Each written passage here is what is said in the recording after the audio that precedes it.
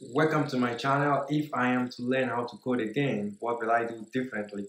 In today's video, this is what we are talking about. And in today's video, I'm going to be giving you four bullet points of what I will do differently if I'm to start coding all over again. A little bit about myself. For you guys that doesn't know me, I'm a software engineer. I've been coding for the last five years and uh, I've been focusing more on front end, but just recently I started doing full stack once again. So what will I do differently if I'm going to start again? Well, well, well.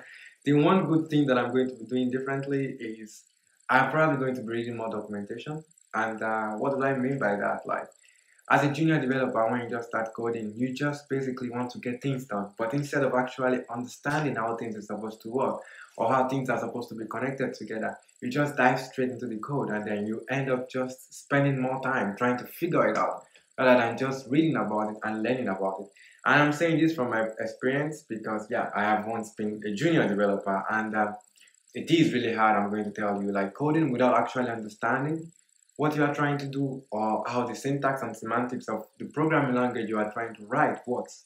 It just kind of like kill the whole vibe and it, it just makes you stress out. It gives you a lot of headache. So yeah, as a senior engineer, I'm going to advise you. If you are going to deep dive into coding, I will recommend you to read the documentation. Let's say you are learning a new language, let's say you are learning a new front-end framework, for example, React. Make sure you understand JavaScript. If you don't understand JavaScript, go to Codecademy, for example. Go to like uh, MDN online tools to actually read about JavaScript to make sure that you understand it. And after you have actually understand JavaScript, then you can actually go and look into React itself.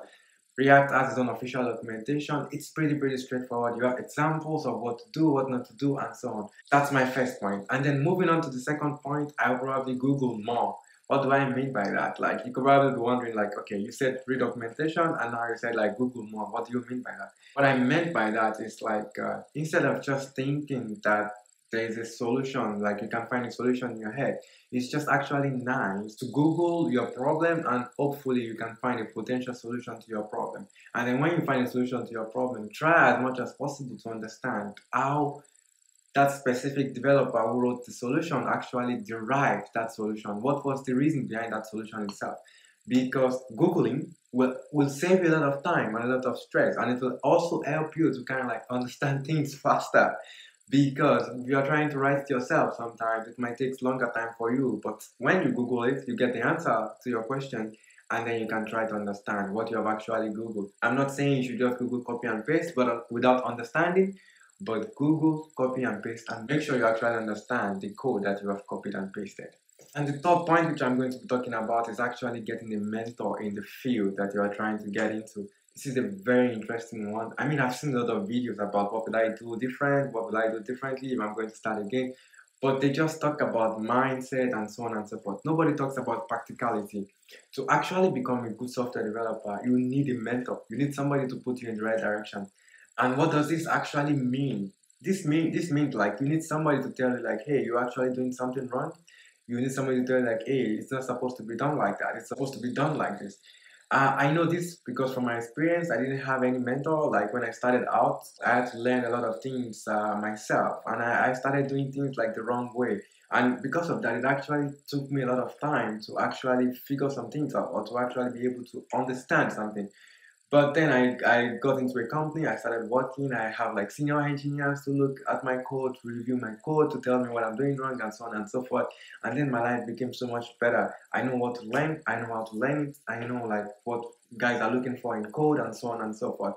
And that's like the most interesting part. Speaking of mentorship, if you really need a mentorship, let's say you want to go into front-end development, for example, I run a front-end development course for my students. I've been doing that for a couple of months now. If you would like to get in, you can follow me on Instagram. You find the link below, or you can you see the handle popping up right there. You can also follow me right now. Moving to the last point, which I'm going to be giving in this video, is actually to leave the code when everything is not working.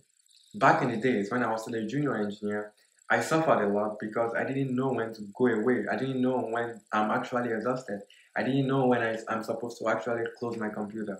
Because sometimes you've been trying to solve something for a very long time and you, you, you just can't go away from your computer because you really want to solve it.